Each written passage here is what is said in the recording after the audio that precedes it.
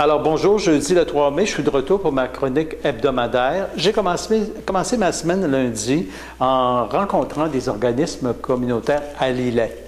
Euh, et je suis aussi, euh, je me suis déplacé pour aller à Saint-Pamphile et à Sainte-Perpétue rencontrer les maires et les conseillers.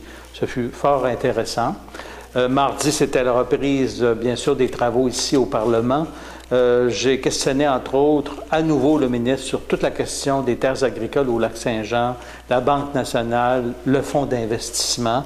Alors, bien sûr, le ministre, là, je pense qu'il est un peu, euh, je dirais pas dépassé, mais pas très loin par toute cette question euh, nouvelle de l'achat des terres, ce qu'on appelle l'accaparement des terres agricoles.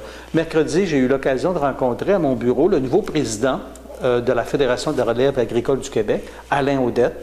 Alors, on a eu un entretien d'autour d'une heure pour euh, discuter, bien sûr, faire le point sur euh, les préoccupations de, la relève agricole.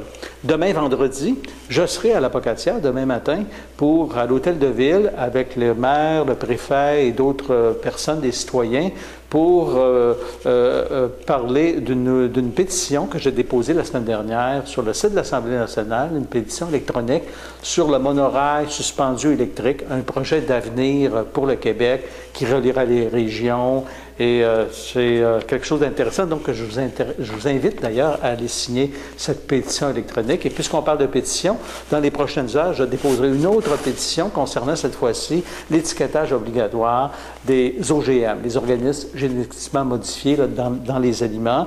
Alors, il y a une citoyenne qui m'a demandé de parrainer euh, cette pétition pour les trois prochains mois. Je vous invite aussi à les signer si vous le désirez. Et samedi, bien, ce sera notre Conseil national du Parti québécois qui se tiendra ici même à Québec au Centre euh, des congrès. Donc, à suivre, je vous souhaite une belle semaine.